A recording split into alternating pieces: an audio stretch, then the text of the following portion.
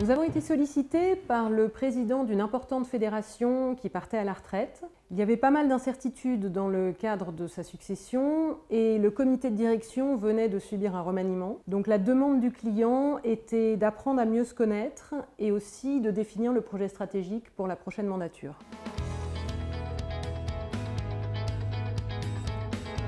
Nous leur avons proposé un séminaire de deux jours avec une alternance entre des moments de production, réflexion et des temps de détente pour mieux se connaître.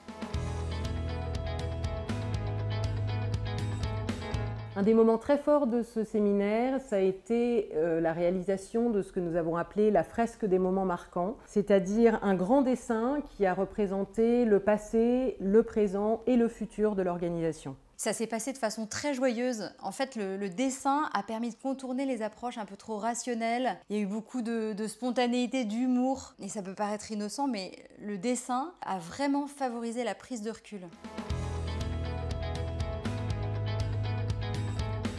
Il y a eu des moments d'émotion partagés qui ont vraiment noué la cohésion. Les participants nous ont dit c'est précieux de comprendre d'où on vient pour mieux savoir qui on est et pouvoir anticiper l'avenir. Une vraie fierté aussi et, ce qui était marquant, c'est qu'une fois les fondamentaux posés, tout le reste a semblé couler de source. Oui, finalement, ce travail sur l'identité a servi de fondation à une réflexion sur la vision qui leur a permis d'aborder sereinement la mandature à venir. D'ailleurs, le dirigeant était particulièrement heureux de ce moment d'équipe et ça lui a permis de partir euh, sereinement à la retraite quelques mois plus tard.